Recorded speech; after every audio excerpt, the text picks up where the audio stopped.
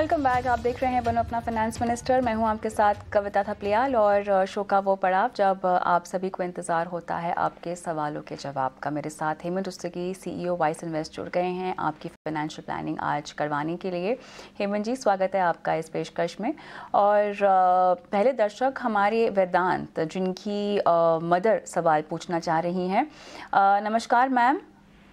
नमस्कार। Uh, मेरे ख्याल से आप वेदांत के भविष्य के लिए हाँ, सवाल कुछ हाँ. अच्छा। आपका नाम मैम? वैशाली मोरे। वैशाली जी। वैशाली जी आपका हाँ. बेटा तेईस साल का है और उन्होंने अपने लिए कुछ फंड्स सिलेक्ट किए हैं इन्वेस्टमेंट्स को लेकर। हाँ. वो पराग पारिक फ्लेक्सी कैप में निवेश कर रहे हैं।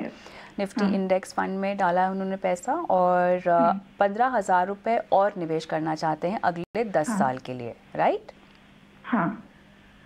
और कुछ आप जोड़ना चाहते हैं उनके सवाल में?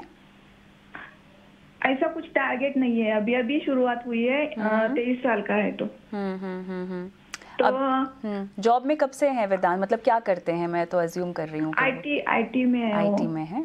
अच्छा तो निवेश करने के लिए आपने उनको प्रेरित किया? आपने कहा कि पैसे अभी कमा रहे हो तो बचा लो कहीं निवेश कर लो कि उन्होंने खुद ने सोचा इसके बारे में? हम सब मिलकर सोच रहे हैं वो खुद भी सोच रहे हैं और हम हम मैं और मेरे हस्बैंड भी सोच रहे हैं। अच्छा आपके और आपके हस्बैंड कहाँ पे इन्वेस्ट करते हैं? फिक्स डिपॉजिट है आपके आपने प्रॉपर्टी खरीदी हुई है सोना खरीदा है क्या कहाँ लगाते हैं आप पैसे? हाँ सब सब में है। सब में है। हाउस भी है गोल्ड भी है और म्यूचुअल फंड भी है? डायरेक्ट शेयर्स भी है हमारे। अच्छा अच्छा अच्छा अच्छा। चलिए बहुत बढ़िया। हेमंत जी वेदांत नहीं लेकिन वेदांत की मदर ने उनके लिए सवाल पूछा है और फंड्स आपके पास हैं। पंद्रह हज़ार रुपये ये और लगा सकते हैं और दस साल का टेंटेटिव टाइम रखा है। मेरे ख्याल से शुरुआती कदम है निवेश को लेकर तो गोल को लेकर शायद कोई क्लैरिटी नहीं है, लेकिन शुरुआत हुई, मेरे ख्याल से वही काबिल तारीफ़ है। क्या कहेंगे? जी, कविता जी, बिल्कुल ठीक है। दस साल का समय है। सिस्टमेटिकली आप इन्वेस्ट कर रहे हो तो ज़ाहिर सी बात है कि अच्छी स्ट्रैटेजी है। अगर हम इनके फंड्स को देखें तो इनके पास एक इंडेक्स फंड है और एक पराग पर एक फ्लेक्सी कैप फंड है, जिसमें प्राइमरीली जो होल्डिंग है वो लार्ज कैप की है और कुछ हिस्सा जो है वो यूएस मार्केट में है। तो अगर मैं आज के समय में इनकी अगर पोर्टफोलियो कंपोजिशन देखूँ तो काफ़ी बायस है लार्ज कैप पे, जो शुरुआत में होना ठीक भी है। अब क्योंकि इनको पंद्रह हज़ार रुपये और इन्वेस्ट करने हैं, दस साल का समय है मुझे लगता है कि बाकी जो दो सेगमेंट्स हैं स्पेशली जैसे मिड कैप है, वो बहुत ही इंपॉर्टेंट सेगमेंट है किसी भी पोर्टफोलियो के लिए, उसको शामिल करने की ज़रूरत है। तो एक mid cap fund may be around six thousand rupees चाहे वो कोटक इमर्जिंग ले सकते हैं या फिर मोतीलाल ओसवाल इन दोनों में से कोई भी एक फंड ले सकते हैं आप। और चार हज़ार रुपये जो इनका इंडेक्स फंड है, उसमें वो ऐड कर सकते हैं। क्योंकि जब आप इतना बड़ी रकम ऐड करेंगे प्रोपोर्शनेटली तो कहीं ना कहीं आपको लार्ज कैप में थोड़ा सा प्रोपोर्शन बढ़ाना पड़ेगा। और फिर फाइव थाउज़ेंड रुपीज़ जो है एक मल्टी कैप फंड में ले। निपॉन मल्टी कैप देख सकते हैं उस कैटेगरी में। तो मुझे लगता है ये दो नए फंड और एक फंड में एडिशन तो कुल मिला के इनके पास चार फंड होंगे। आगे भी अगर इनको इन्वेस्टमेंट बढ़ानी हो यहाँ से तो आई थिंक इन्हीं फंड्स में वो कर सकते हैं। तो फ़िलहाल जैसा मैंने कहा, दो नए फंड और एक एग्जिस्टिंग फंड में एडिशनल अमाउंट इन्वेस्ट कर सकते हैं। तो ये वैशाली जी फ़ंड की रिकमेंडेशंस भी दी जा रही हैं हेमंत जी की तरफ़ से। मिड कैप जो है आपको जोड़ने की भी सलाह दी जा रही है। और उनके बिहाफ पे और कोई सवाल आप पूछना चाहती हैं? नहीं थैंक यू मैडम बिल्कुल हमें हमें फंड की ज़्यादा जानकारी नहीं थी इसलिए मैंने ये पूछा था। अच्छा किया धन्यवाद आपने हम पे भरोसा किया अपना सवाल भेजा। ऑल द बेस्ट आगे बढ़ते हैं। प्रमोद धूमल मेरे साथ फ़ोन लाइन पर हैं। प्रमोद नमस्कार। कैसे हैं? हाँ ठीक हो। नमस्कार मैडम। कहाँ से बोल रहे हो आप? हाँ मैं पुणे से बोल रहा हूँ मैडम। पुणे से बोल रहे हैं। बताइए हाँ। प्रमोद आ, मैं देख सकती हूँ UTI Nifty fifty index H का मल्टी कैप और एस का मिड कैप और निपोन का मल्टी कैप लिया है।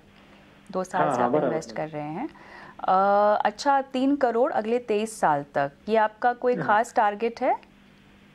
हाँ टारगेट है मैडम ऐसे वेल्थ क्रिएशन का ही है अच्छा। मतलब ऐसा नहीं ना कि कुछ रिटायरमेंट के लिए आप इकट्ठा करना चाह रहे हैं नहीं, नहीं, इसमें भी समय आप देते साल ठीक है। आप निवेश बढ़ा पाएँगे फ़िलहाल तो आप मेरे ख्याल से बीस हज़ार का कर रहे हैं जो कि अपने आप में काफ़ी अच्छा अमाउंट है। हाँ हाँ। हम्म? चलिए। हाँ। Okay okay. हेमंत जी देखिए, तेईस साल का इन्होंने अपने इन्वेस्टमेंट को समय दिया है और अभी ये बीस हज़ार रुपये की लगभग निवेश कर रहे हैं एसआईपी के ज़रिए। यही फ़ायदा होता है मेरे ख्याल से अगर आप इंतज़ार ना करते रहें और भले ही छोटी सी राशि हो, अगर आप निवेश शुरू कर लें और अगर निवेश की अवधि आपकी लंबी हो तो रहते रहते, बढ़ाते बढ़ाते आपका अगर वेल्थ क्रिएशन का ही कोई पर्पस है तो वो आसानी से अचीव हो सकता है। मेरे ख्याल से समय पर इन्वेस्टमेंट्स की शुरुआत करने का ये एक बहुत बड़ा फ़ायदा होता है।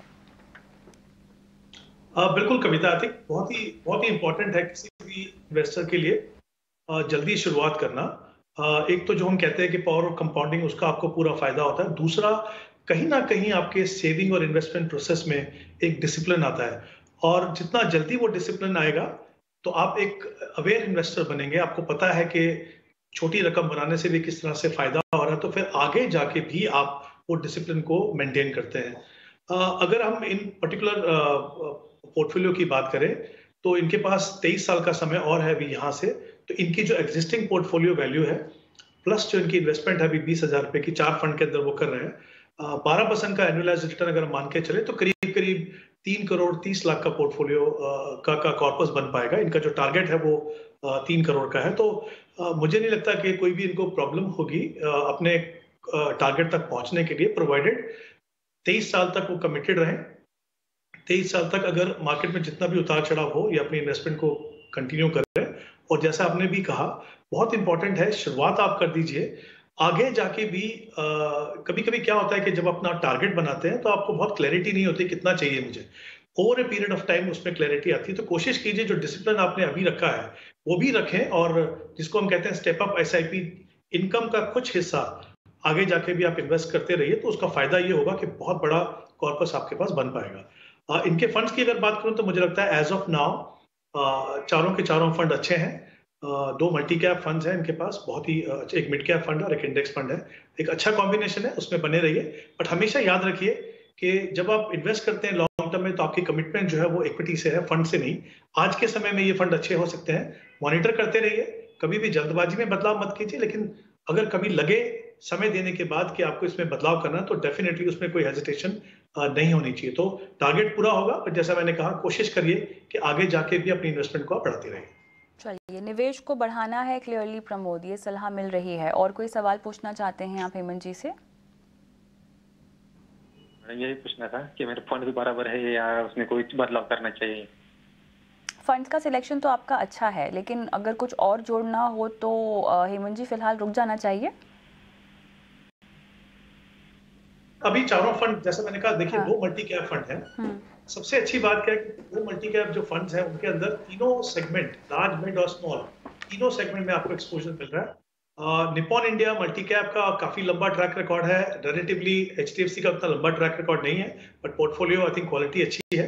तो मुझे लगता है जो इंपॉर्टेंट आस्पेक्ट है कि तीनों सेगमेंट में जिस तरह का आपको एक्सपोजर मिलना चाहिए वो आपको मिल रहा है। तो फ़िलहाल तो मुझे लगता नहीं कि आपको और कोई फंड ऐड करने की ज़रूरत है। All the best Pramod. मेरे अगले दर्शक राजीव बसक मेरे साथ फ़ोन लाइन पर हैं जिन्हें 11 साल में चाहिए एक करोड़ रुपए। राजीव नमस्कार कैसे हैं? हाँ नमस्कार मैं ठीक हूँ अच्छा थैंक यू आपने अपना सवाल हमें भेजा। आप कोलकाता से बोल रहे हैं ना? यस यस मैं कलकत्ता से बोल रहा हूँ। Okay Rajiv ji Tata banking finance आपके पास है एचएसबीसी का स्मॉल कैप सुंदरम का लार्ज कैप है एक्सिस का स्मॉल कैप है आईसीआईसीआई प्रो निफ्टी इंडेक्स है पराग पारे का फ्लेक्सी कैप मेरा एसेट का लार्ज कैप है और एबीएसएल फोकस्ड इक्विटी है। फंड्स तो आपके पास अच्छे हैं आपने लमसम भी निवेश किया हुआ है एक्सिस के लॉन्ग टर्म में और आदित्य बिरला का भी आपने टैक्स सेविंग लिया हुआ है एक्सिस का मल्टी कैप भी लिया हुआ है। Uh, उसके अलावा ये आईसीआईसीआई प्रूडेंशियल का क्या है? तीस हज़ार ईयरली ये पॉलिसी है। L I C term plan है। नहीं टर्म प्लान नहीं ये वो ट्रेडिशनल प्लान है। और एल आई सी का वो हम्म। थोड़ा ट्रेडिशनल पॉलिसी मेरे पापा के टाइम वो वही मैं कंटिन्यू कर रहा हूँ। मैच्योर होगा नेक्स्ट ईयर से। ठीक है। तो राजीव जी इन सभी इन्वेस्टमेंट्स में आपको एक करोड़ चाहिए या केवल आपके म्यूचुअल फंड एक्सपोजर से ही आपको चाहिए? मैं म्यूचुअल फंड एक्सपोजर से मैडम एक करोड़ बनाना चाहता हूँ। ठीक। है। क्योंकि मेरा फोकस भी इक्विटी में ज़्यादा है क्योंकि एफ़ मेरा ऑलरेडी है पंद्रह लाख के आसपास। वो जो है तो कहीं मेरा फोकस भी कंप्लीटली और इक्विटी इन्वेस्टमेंट ठीक है। सो सो सो अभी मोर इलेवन इयर्स ना? हाँ twelve years ma'am more eleven to twelve years ठीक है। ट्वेल्व ईयर्स तक है time got it Hemant ji और 11 से 12 साल और अगर इन्वेस्टमेंट इनको बढ़ानी है एक करोड़। की इनकी ख्वाहिश है अपने केवल म्यूचुअल फंड पोर्टफोलियो से। देखिए इनकी जो एसआईपी है अगर वो कंटिन्यू करते हैं। हम्म। ग्यारह साल तक तो करीब 39 लाख का पोर्टफोलियो बनेगा। मुझे एक ही सिर्फ़ क्लैरिटी चाहिए कविता यहाँ पे। उन्होंने कहा कि इनका एक्सेस लॉन्ग टर्म में करीब 12 लाख का इन्वेस्टमेंट है। वो अमाउंट क्या सही है? और अगर वो सही है तो फिर इतना ज़्यादा इन्वेस्टमेंट क्या over a period of time हुआ है? या फिर कुछ और ऑब्जेक्टिव के हिसाब से उसमें इन्वेस्टमेंट किया गया? राजीव जी? मेरा जो फिक्स इन्वेस्टमेंट जो मैं बोला, वो पंद्रह पंद्रह लाख जो एफडी में है, वो अलग है। एक्चुअली ये मैं कैलकुलेट प्लान किया हूँ फिफ्टी ईयर्स के हिसाब से क्योंकि after currently I am thirty eight year तो फिफ्टी ईयर्स में मैं मोटा मोटी एक प्लान किया हूँ जो रिटायरमेंट बोल सकते या बेटे के लिए कुछ लगेगा, इसीलिए ऐसा ही मतलब प्लान तो एस आई पी अगर कुछ इंक्रीज करना है तो हम कर सकते हैं नो इशू तो कौन से जगह में इन्वेस्ट करें? मतलब कौन से एस आई पी थोड़ा गाइड कर ओके हेमंत जी?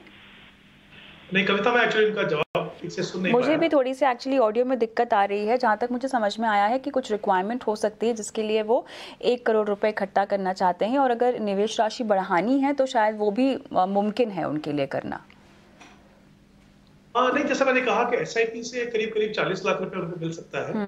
अगर वो ग्यारह साल तक कंटिन्यू करें, अगर जो उन्होंने अमाउंट कहा है लमसम जो टैक्स सेविंग फंड में अगर वो सही है तो अगर वो 11 साल तक उसको रखें, चाहे मतलब ए में रखें या किसी और फंड में रखें, क्योंकि अल्टीमेटली ऑब्जेक्टिव तो वही है कि एक करोड़ का कॉपर्स आपको बनाना है तो उसमें और 45 लाख वो उनको मिल जाएगा। तो करीब करीब 85 लाख का कॉपर्स वो बना पाएँगे। तो क्लियरली थोड़ा सा गैप रहेगा। तो अगर ये मुझे लगता है पाँच या छः हज़ार की एस अगर और बढ़ा दें तो डेफिनेटली अपने टारगेट तक पहुँच पाएँगे। लेकिन इंपॉर्टेंट चीज़ ये है, इनके पास बहुत सारे फंड हैं, कुल मिला के बारह फंड हैं। मुझे लगता है उसमें कंसोलिडेशन की ज़रूरत है। देखिए ई के दो फंड हैं, वो तो जब तक उसका लॉक इन पीरियड खत्म नहीं होता, उसमें आप कुछ नहीं कर सकते। लेकिन जो बाकी फंड्स हैं डेफिनेटली मुझे लगता है उसमें कम करने की ज़रूरत है। कुछ एग्जिस्टिंग फंड जैसे पराग परिक फ्लेक्सी कैप वहाँ पे आप थोड़ा अमाउंट दीजिए इंडेक्स फंड में तीन हज़ार है, उसको आप रख सकते हैं। और एक मल्टी कैप फंड हमने दो फंड्स की बात की उनमें से कोई भी एक फंड आप ले सकते हैं। आ, उसमें छह हज़ार रुपये आप इन्वेस्ट कीजिए। तीन फंड मुझे लगता है इनकी जो इन्वेस्टमेंट अमाउंट है नॉन ई की उसमें बिल्कुल सही रहेंगे। दोनों हिसाब से मॉनिटरिंग के हिसाब से और जिस तरह का एलोकेशन आपको डिफरेंट सेगमेंट में चाहिए तो डेफिनेटली कंसोलिडेशन करने की ज़रूरत है। और जैसा मैंने कहा पाँच या छह हज़ार के अगर एस आई और ऐड करेंगे तो अपने अपने लक्ष्य तक डेफिनेटली पहुँच पाएँगे। Okay all the best Rajiv ji. आगे बढ़ेंगे और सी डी चारण जी मेरे साथ फ़ोन लाइन पर हैं। सर नमस्कार। नमस्कार मैम ओके आपके पोर्टफोलियो की डिटेल्स हमारे पास हैं और सात फंड्स हैं। सभी डायरेक्ट प्लान्स हैं? हाँ मैम सभी डायरेक्ट है। ओके और रिटायरमेंट के लिए ही आप इन्वेस्ट कर रहे हैं और पिछले एक साल हाँ, से आप बिल्कुल बिल्कुल मैम ओके ओके एक करोड़ आपने कहा है ये काफ़ी होगा आपके लिए? हाँ मैम क्योंकि एनपीएस अलग से है ना।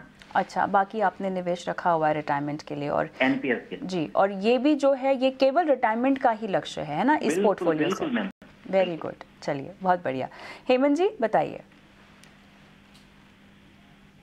कविता जरा मैं फंड का नाम बताएँगे मुझे जी जी सी डी चारण जी के पोर्टफोलियो में आई आईसीआईसीआई प्रू का ब्लू चिप है एक्सिस का मिड कैप है एसबीआई का स्मॉल कैप है पराग पारेख का फ्लेक्सी कैप है इनके पास Nippon India multi cap multi asset है।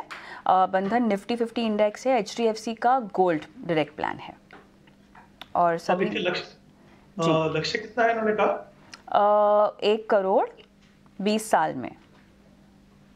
जी देखिए अगर मतलब अगर एक करोड़ तक इनको पहुँचना है तो करीब करीब दस हज़ार की इन्वेस्टमेंट करें तो डेफिनेटली अपने लक्ष्य तक अभी सात हज़ार तक की कर रहे हैं हेमंत जी है हाँ जी तो, तो करीब करीब जैसा मैंने कहा तीन हज़ार और एडिशनल इन्वेस्ट करना होगा अपने लक्ष्य तक पहुँचने के लिए। किस फंड में और बढ़ाएँ?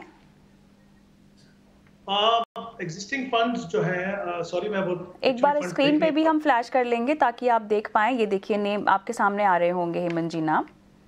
हाँ जी बिल्कुल। I think Axis Axis mid cap में बढ़ा सकते हैं स्मॉल एसबीआई स्मॉल कैप में बढ़ा सकते हैं और पारंपरिक फ्लेक्सी कैप जो है एक एक हज़ार रुपये के हिसाब से आप बढ़ाएँ तो दस हज़ार रुपये की जो आपको राशि बताई जा रही है उससे आपका एटलीस्ट रिटायरमेंट के लिए एक करोड़ का लक्ष्य इस पोर्टफोलियो से पूरा हो सकता है। चारण जी और कोई सवाल पूछना है आपको?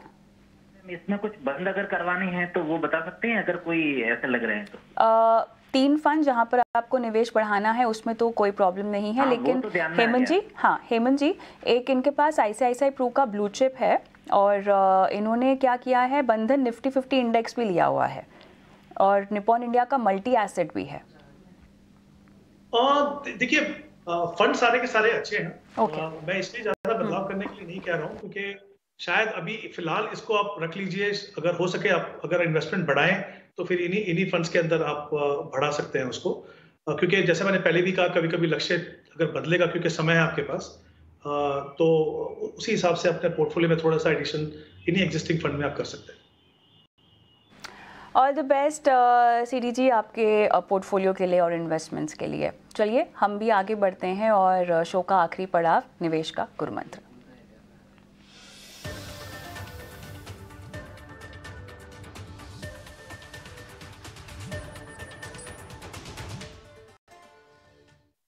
हेमंत जी बताइए आपने आज क्या निवेश का गुरु मंत्र रेकमेंड करना है?